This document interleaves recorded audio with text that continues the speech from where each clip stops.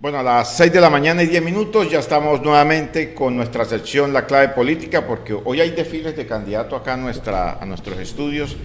de candidatos a la alcaldía, a la gobernación, también a la asamblea y consejos eh, municipales. Ya está en nuestra mesa de trabajo el candidato a la gobernación del departamento de Arauca por el Centro Democrático, Manuel Pérez Rueda. Manuel, muy buenos días, gracias por aceptar la invitación y la verdad, ¿cómo avanza su campaña política en este momento que estamos a tan solo dos días de que se abran las urnas? Bueno, Carlos, muy buenos días para usted, para todos. De verdad que sí, dos días, 48 horas prácticamente para que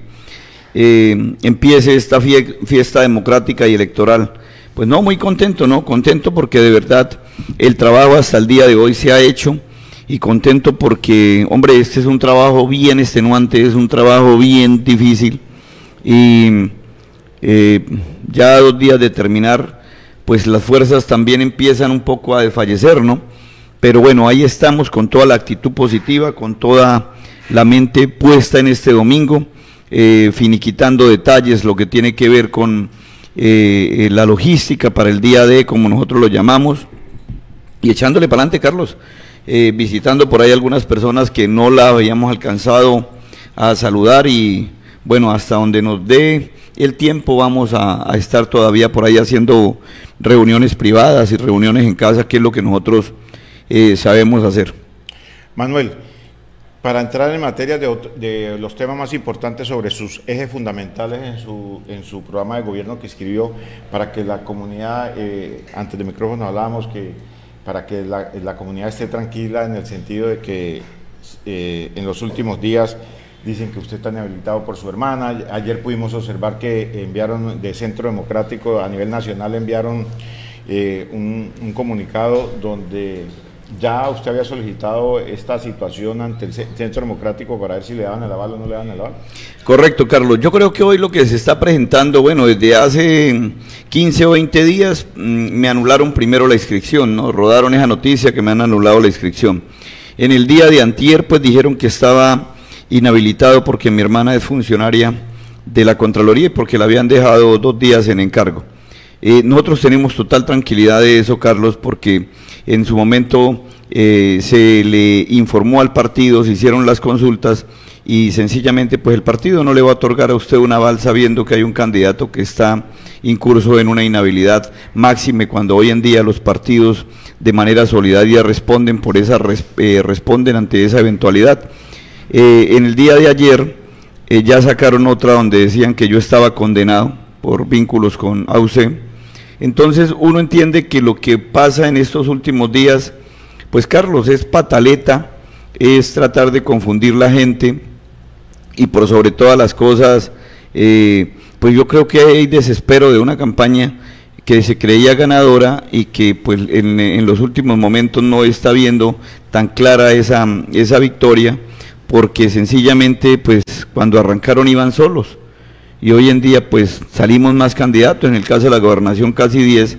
Entonces pues recurren a eso, ¿no? A esas, a esas estrategias eh, que, que no son nuevas en la política. Bueno, Manuel, la comunidad, sus seguidores, su gente o los que aún no han decidido votar por usted, están deben de estar tranquilos que usted no, se encuentra con ninguna inhabilidad. Totalmente tranquilos, Carlos. Ni tengo inhabilidad, ni mucho menos estoy condenado, ¿no? Porque una cosa es estar inhabilitado, como lo dijeron hace tres o cuatro días, pero otra cosa es ya decir que tengo eh, condenas eh, en curso, ¿no? Ah, no, colocaron que era la otra semana. Entonces, son situaciones que escapan a que a nuestra voluntad, porque cualquiera desde una, un computador puede eh, decir cualquier cosa, pero nosotros estamos tota-, totalmente tranquilos, trabajando un poquito más, sacando fuerzas de donde no las hay, pero definitivamente rematando porque este domingo nos vamos a ganar las elecciones y Manuel Pérez va a ser gobernador de Arauca. Manuel, pasando a otro tema, usted como candidato a la gobernación de Arauca, ¿cómo ve esta medida que ha tomado el gobierno nacional de ofrecer recompensas, de de que las autoridades estén activas para este proceso electoral, que denuncien dónde están comprando votos, dónde tienen albergados personas desde Venezuela. ¿Cómo, para usted, ¿cómo ve esa medida? A mí me parece excelente, a mí me parece excelente esa medida que ha tomado el gobierno nacional. donde inclusive sé que están ofreciendo recompensas para que se dé eh, información y permita la captura, como usted lo dice, de esas personas que están trasteando eh, con nacionales desde la República de Venezuela, sobre todo a los municipios de Arauca, Saravena y el municipio de Arauquita. Eh, en los consejos electorales, por parte de nuestros delegados, ya se han informado cuáles son los puntos. Sabemos que, como nunca, la autoridad está hoy en día articulada para mm, evitar que este flagelo se siga presentando. Vea lo que le voy a decir, Carlos, parece que por Cubara van a meter bastante gente, pero ya todo eso está denunciado. Entonces, yo sí deseo de verdad que esta vez eh, la autoridad por fin eh, dé unos resultados positivos y se proceda al tema de las capturas, porque es muy berraco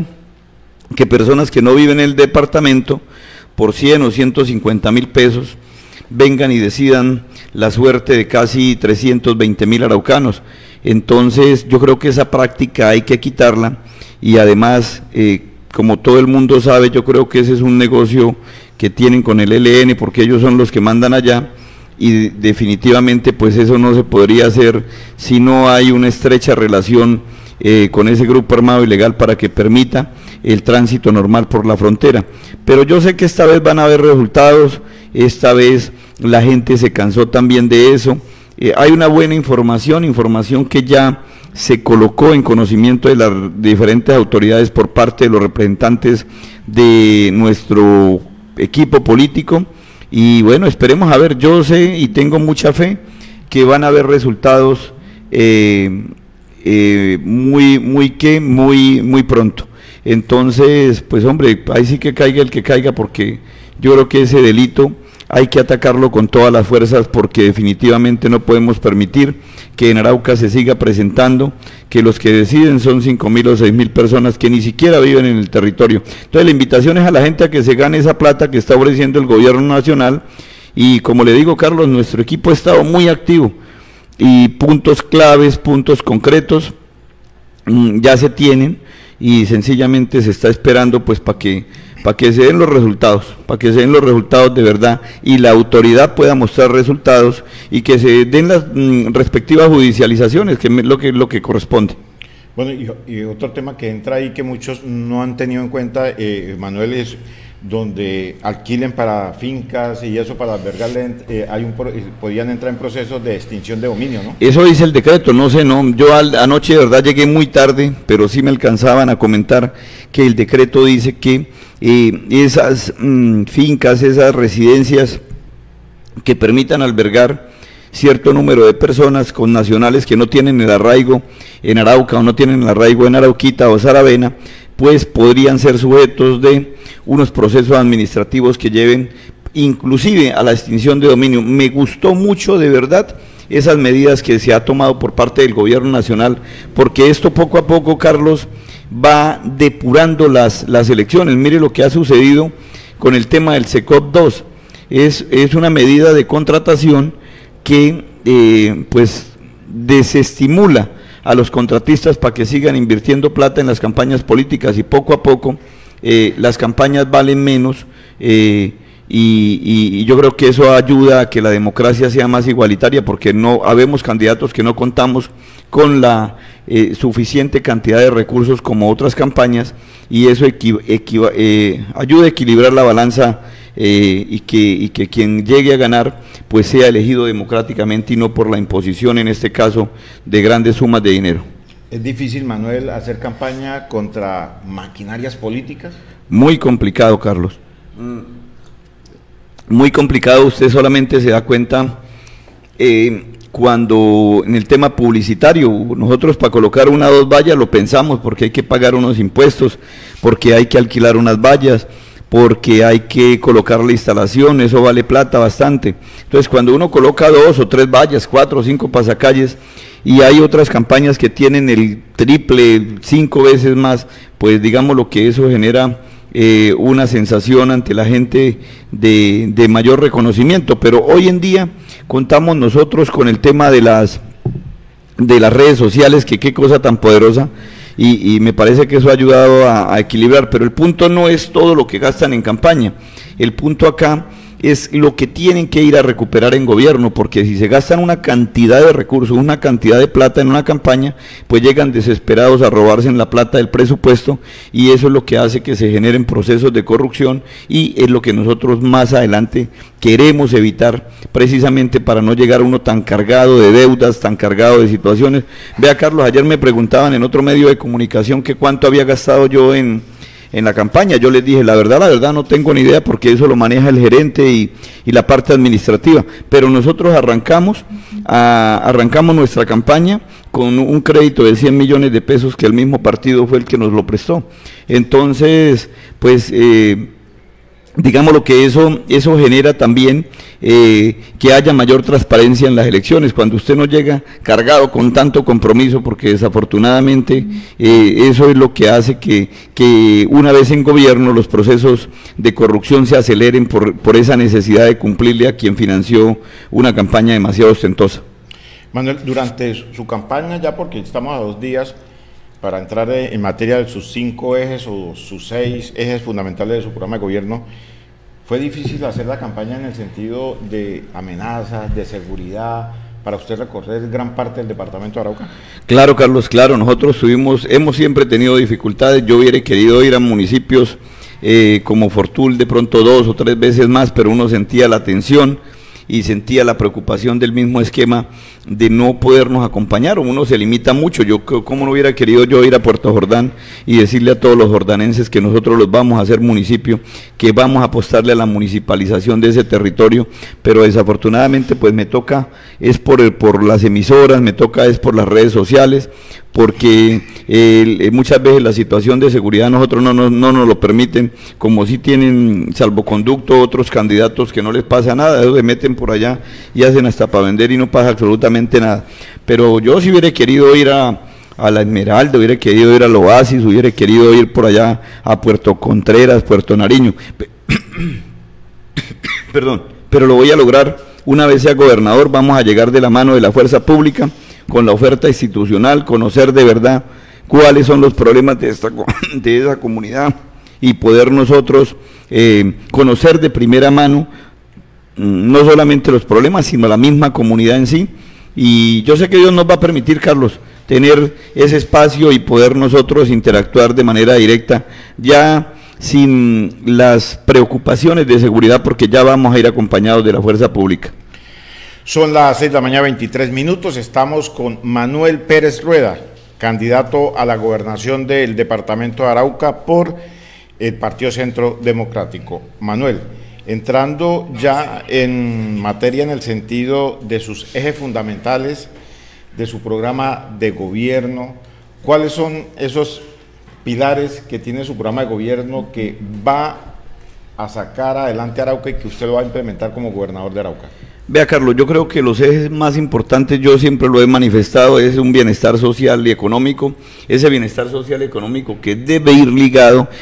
necesariamente a la parte productiva del departamento, a la parte de vías, de infraestructura. Nosotros le vamos a jugar muy duro al tema de las vías que corresponden por competencia al departamento, pero también vamos a buscar la gestión para que aquellas vías del orden nacional pues sean atendidas y sean mantenidas por el organismo competente, en este caso en vías. Lo que tiene que ver con las vías terciarias, hombre, apoyo total, ahí sí le vamos a jugar muy duro, pero muy duro a, esas vías terciarias, porque nosotros no podemos hablar de un departamento productivo, pero que no es competitivo precisamente porque no tiene de dónde sacar eh, los productos, porque las vías están en un estado deplorable. Vamos a coger esos cinco bancos de maquinaria que pronto entregará Pares que fue excedida por obras por impuestos y pasarla nosotros a los distritos, en los casos de los municipios de Fortul, de Saravena, de Tame, de Arauquita. En el caso de Arauca vamos a ver cómo se rota eso a través de los corregimientos, porque si bien es cierto, acá los convenios solidarios, eh, que hoy en día es una figura jurídica que lo permite, le vamos a dar aplicación para que sean las juntas de acción comunal, una vez legalizadas, las que puedan de verdad tener acceso a estos bancos de maquinaria. Pero Carlos,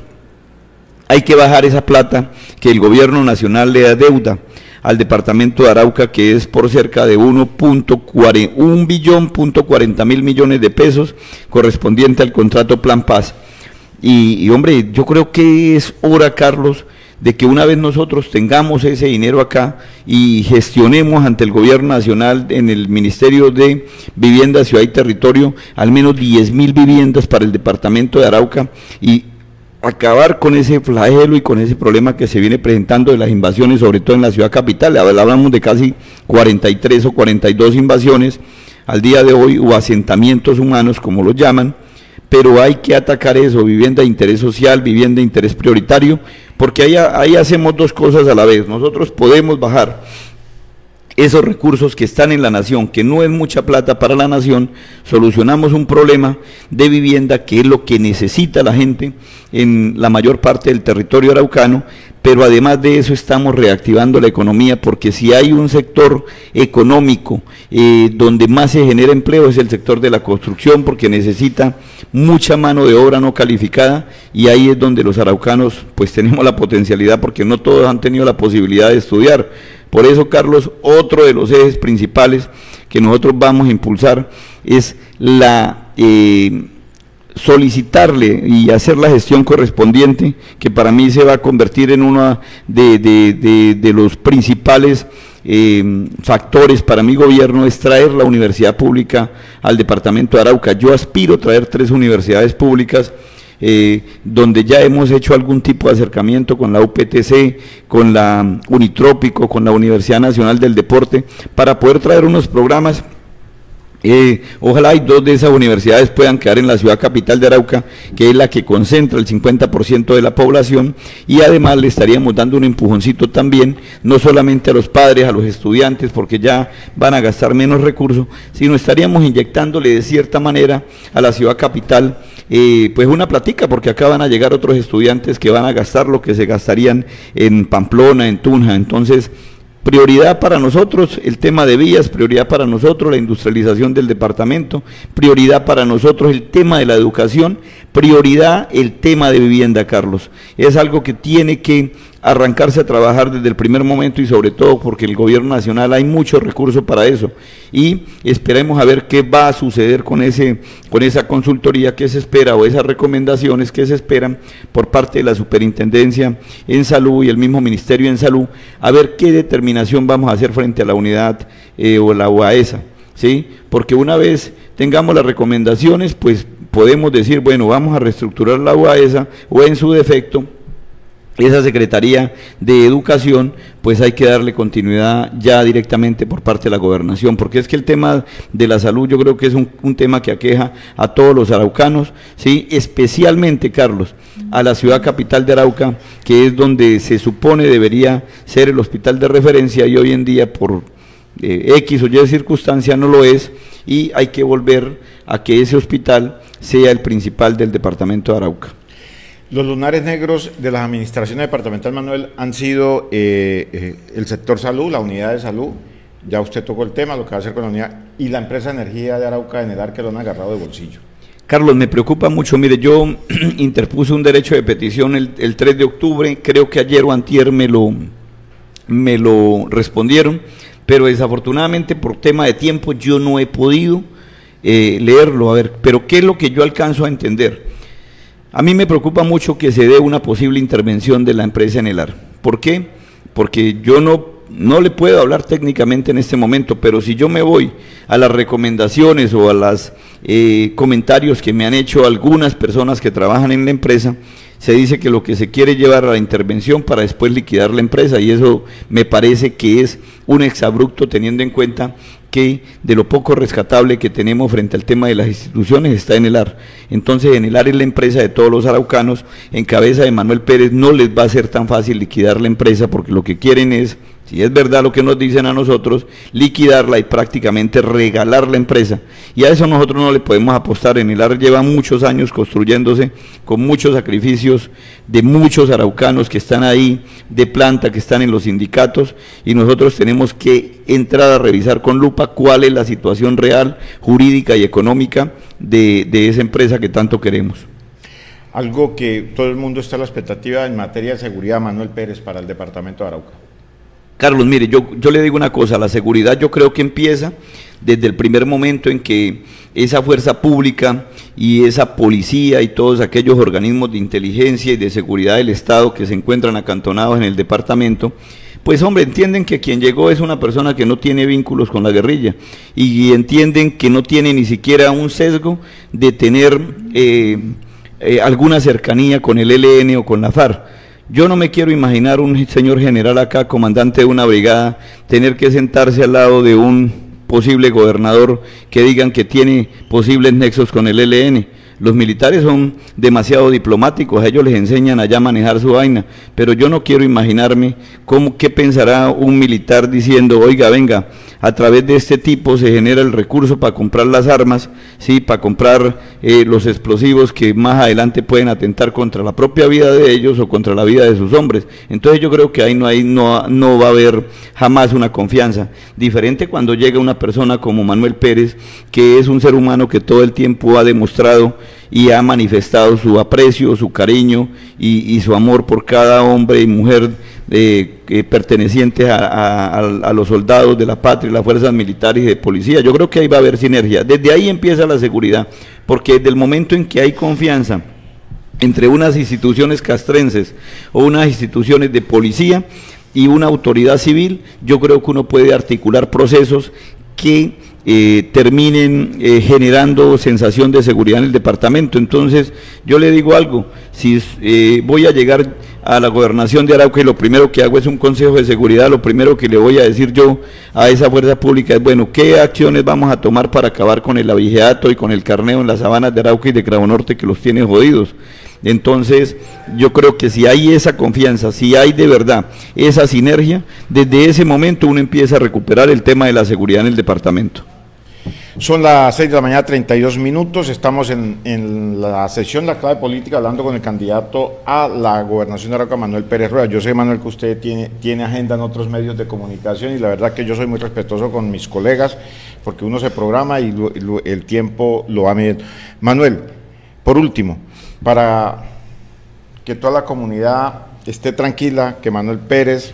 sigue su campaña hasta el 29, que no hay absolutamente nada contra usted y la invitación para que salgan este domingo a votar por Manuel Pérez Rueda. No, Carlos, total tranquilidad para el departamento. Es posible, ¿no? Eh, que en estos días pues salgan cualquier cosa, como le digo, no solamente me inhabilitaron, sino pasé al otro día a ser condenado. Es el desespero de otra campaña que como no tiene argumentos y no es frentero, pues entonces se basa en situaciones eh, para tratar de desinformar, pero nosotros tenemos totalmente tranquilidad. Lo que pasa es que, como dicen, no caballo que alcanza pasa, y ellos sienten que se está pasando, entonces de alguna manera tienen que reaccionar. Ayer de manera muy coloquial en otro medio de comunicación yo decía que es que el martes le dieron cuatro coñazos al candidato Renzo Martínez, que es lo que lo obliga a salir a decir eh, cualquier cantidad de cosas, porque el hecho de que venga Uribe a alzarme la mano, a decir que pide el voto por mí, que soy una persona honorable, que soy una persona que no tengo problemas ni líos jurídicos, en primer lugar. En segundo lugar, que la doctora Lina María en representación de eh, eh, eh, Andrés Padilla, me dé el respaldo y en la noche ese mismo respaldo sea ratificado por Juan Cuenza y, a las, más tardecito salga Salud Hernández a través de semana a decir que Renzo Martínez es el posible candidato apoyado por el LN, entonces de alguna manera tienen que defenderse de alguna manera tienen que salir a patalear y apenas es normal que eso pase, ¿no? Yo creo que esta no es la primera vez que sucede un hecho de esos, pero sencillamente nosotros vamos para adelante confiando en Dios, el apoyo del pueblo cada vez es mayor y nosotros nos vamos a ganar las elecciones. Con un argumento, eh, ya para finalizar, Carlos, vamos a promover que se den las capturas, porque ya sabemos cuáles son los puntos y estamos trabajando para que a través de las personas encargadas de nuestra campaña se den eh, esas situaciones, porque ya está bueno de que cinco mil o seis mil personas que pasan del otro lado, eh, que son con nacionales colombianos,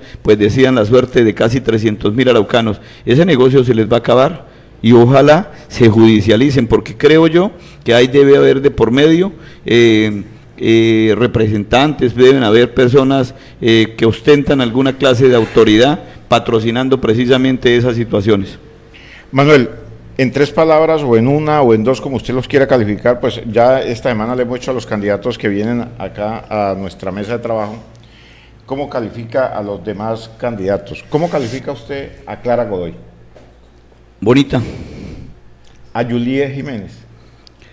Eh, paisana. Manuel Calderón. Amigo. Renson Martínez. Eh, sospecha. Iván Darío Gómez. Médico. el doctor Nixon Bareño. Eh, pariente. Albeiro Vanegas, que me dicen que declinó la candidatura, pero ¿cómo lo califica? Inteligencia. Bueno, Manuel, muchas gracias por aceptar la invitación y la verdad, pues ya eh, restan eh, estos mm, últimos días, dos días de elecciones y la verdad que en estos momentos se encuentran ustedes prácticamente, como dice, sin dormir,